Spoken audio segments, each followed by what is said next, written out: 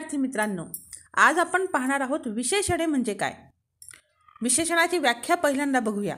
नामाबद्दल विशेष माहिती सांगणाऱ्या व नामाची व्याप्ती मर्यादित करणाऱ्या विकारी शब्दाला विशेषणे असे म्हणतात. विशेषणे ज्या नामाबद्दल माहिती सांगतात त्या नामाला विशेष असे म्हणतात व विशेषणे नामाची संख्या कमी करतात म्हणजेच नामाची व्याप्ती मर्यादित करतात. विद्यार्थी हा शब्द उच्चारला की शाळेतील सर्वच विद्यार्थी आपल्या डोळ्यां डोळ्यांपुढे उभे राहतात. पण आठवीतील विद्यार्थी म्हटले की विद्यार्थ्यांची संख्या कमी होते. आठवी अ मधील विद्यार्थी म्हटले की संख्या आणखी कमी होते. म्हणजेच विशेषणे विशेषाची म्हणजेच नामाची व्याप्ती मर्यादित करतात. आता आपण पाहूया विशेष्य आणि विशेषण म्हणजे काय? ज्या नामाचे वर्णन केले जाते ते विशेष्य होय व ज्या शब्दांनी वर्णन केले जाते ते शब्द म्हणजे विशेषणे होय. उदाहरणार्थ हुशार मुले पिकलेला आंबा त्यांचा वाडा माझी शाळा शंभर कौरव खूप माणसे. हुशार पिकलेला त्यांचा माझी शंभर खूप ही विशेषणे होय आणि मुले आंबा वाडा शाळा कौरव माणसे ही विशेष्य होय. विशेषणे ही विशेषाच्या लिंगवचनानुसार बदलत असते. विशेषणांचे प्रमुख तीन प्रकार आहेत. गुणविशेषण संख्याविशेषण सार्वनामिक विशेषण. पहिला प्रकार पाहूया गुणविशेषण. ज्या विशेषणाने नामाचा गुण किंवा विशेष दाखविला जातो त्यास गुणविशेषण असे म्हणतात.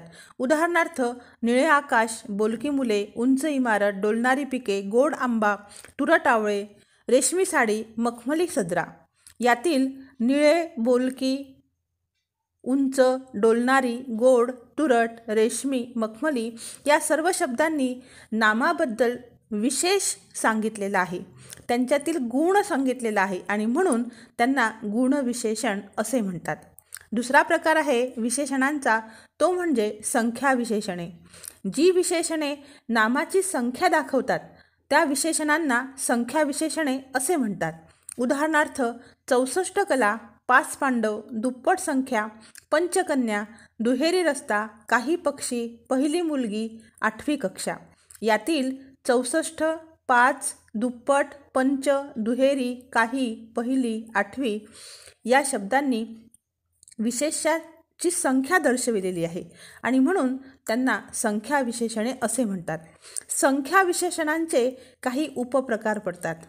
पहिला प्रकार आहे गण गणनावाचक दुसरा प्रकार आहे क्रमवाचक तिसरा प्रकार आहे आवृत्तीवाचक चौथा प्रकार आहे पृथकत्ववाचक आणि पाचवा प्रकार आहे अनिश्चित. पहिला प्रकार अभ्यासूया गणनावाचक. काही संख्यावाचक विशेषणांचा उपयोग गणना करण्यासाठी म्हणजेच मोजमाप करण्यासाठी होतो. त्यास गणनावाचक विशेषणे असे म्हणतात. उदाहरणार्थ दहा रुपये अर्धा तास शंभर कौरव सहस्त्र किरण पाच स्त्रिया. यातील दहा अर्धा शंभर सहस्त्र पाच या विशेषणांचा उपयोग गणना म्हणजेच मोजण्यासाठी केलेला आहे. म्हणून त्या विशेषणांना गणनावाचक विशेषणे असे म्हणतात.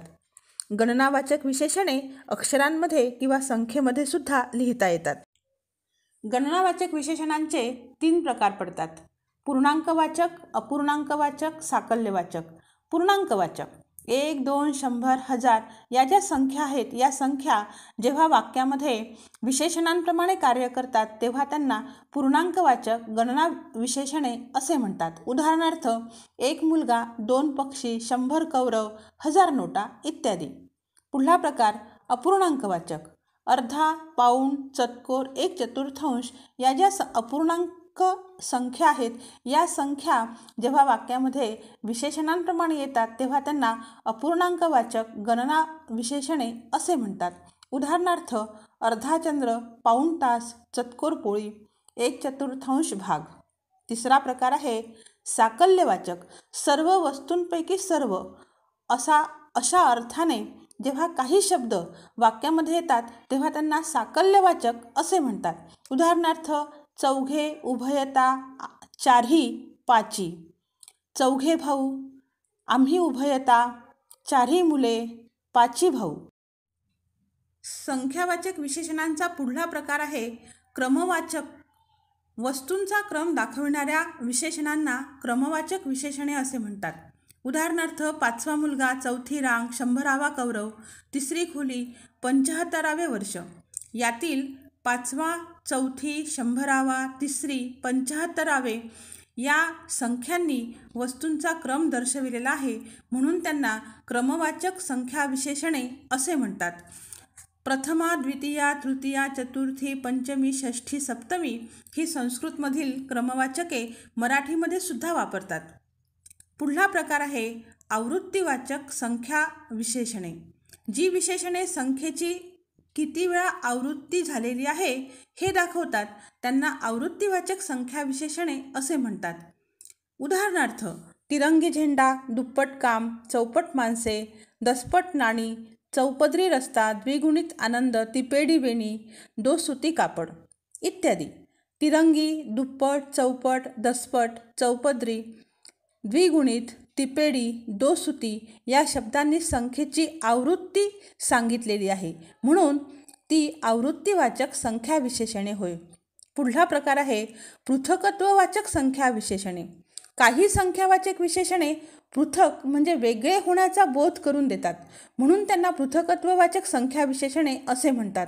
उदाहरणार्थ एक एक व्यक्ती तीन तीनचा गट शंभर शंभरच्या गड्ड्या इत्यादी. यातील एक एक तीन तीन शंभर शंभर. या ज्या संख्या आहेत या संख्यांनी वेगळे होण्याचा बोध करून दिलेला आहे. म्हणून त्यांना पृथकत्ववाचक संख्या विशेषणे असे म्हणतात. पुढला प्रकार आहे अनिश्चित संख्यावाचक विशेषणे. काही संख्या विशेषणे निश्चित अशी संख्या दाखवित नाहीत. म्हणून अशा संख्या विशेषणांना अनिश्चित संख्या विशेषणे असे म्हणतात. उदाहरणार्थ सर्व मुले काही वस्तू थोडा वेळ इतर माणसे इत्यादी उदाहरणे. यातील सर्व काही थोडा इतर इत्यादी हे जे शब्द आहेत हे अनिश्चित आहेत. ठराविक अशी संख्या ते दर्शवित नाहीत म्हणून त्यांना अनिश्चित संख्या विशेषणे असे म्हणतात. सर्वनामांचा तिसरा प्रकार आहे सार्वनामिक विशेषणे. कधीकधी मूळ सर्वनामे ही नामाबद्दल विशेष माहिती सांगतात. नामांच्या ऐवजी येणाऱ्या शब्दांनाच सर्वनामे असे म्हणतात. पण कधीकधी वाक्यात नामाच्या आधी सर्वनामेसुद्धा येतात. म्हणून त्या सर्वनामांना सार्वनामिक विशेषणे असे म्हणतात. उदाहरणार्थ मी तो हा ती कोण असला काही सर्वनामे मूळ रूपात वाक्यात येत नाहीत. त्यांच्यात बदल करून ती वाक्यामध्ये वापरतात आणि ती विशेषणांसारखं कार्य करतात म्हणून त्यांना सार्वनामिक विशेषणे असे म्हणतात. उदाहरणार्थ मी या सर्वनामापासून माझा माझी माझे. आम्ही यापासून आमचा आमचे आमची. तू यापासून तुझा तुझी तुझे. तो या सर्वनामापासून त्याचा त्याची तसा तसला तितका तेवढा तमका. तुम्ही या सर्वनामापासून तुमचा तुमची ती या सर्वनामापासून तिचा. हा पासून असा असला इतका एवढा अमका. जो जसा जशी जितका जेवढा जसला. कोण कोणता केवढा. काय कसा कसला. अशा प्रकारे मूळ सर्वनामापासून त्याच्या मूळ रूपामध्ये काहीतरी बदल करून विशेषणांसारखा त्याचा वाक्यामध्ये उपयोग होतो म्हणून त्यांना म्हणायचं हे सार्वनामिक विशेषणे. काही सार्वनामिक विशेषणे वाक्यात कशा पद्धतीने वापरतात ते आपण पाहूया. माझा चष्मा माझी बहीण माझे घर आम्ही भावंडे आमचा बंगला आमचे गुरुजी आमची शाळा. तुझा भाऊ तुझी वही तुझे बाबा. त्याचा पेन त्याची आई त्या तसा भाऊ तसला बंगला तितका वेळ. तेवढा गुण तमका मनुष्य. तुमचा मुलगा तिचा चेहरा तसा गुण असला मनुष्य इतका वेळ एवढे काम अमका माणूस. जसा बाप जशी शाळा जितका रंग जेवढा गुणी जसला देश. कोणता वर्ग? केवढा फरक? कसा काळ? कसला मनुष्य? यातील जी सर्वनामं आहेत त्या सर्वनामांनी विशेषणाचे कार्य केलेले आहे आणि म्हणून त्यांना सार्वनामिक विशेषणे असे म्हणतात. विद्यार्थी मित्र हो विशेषणे हे प्रकरण आपण दोन भागात अभ्यासणार आहोत. या भागात आपण विशेषणे म्हणजे काय? विशेषणांचे तीन उपप्रकार गुणविशेषण संख्या विशेषण आणि सार्वनामिक विशेषण यांचा अभ्यास केलेला आहे.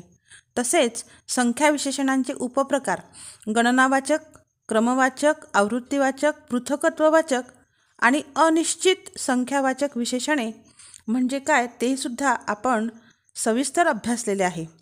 गणनावाचक विशेषणांचे पुन्हा तीन उपप्रकार पूर्णांकवाचक अपूर्णांकवाचक साकल्यवाचक यांचासुद्धा सविस्तर अभ्यास आपण केलेला आहे.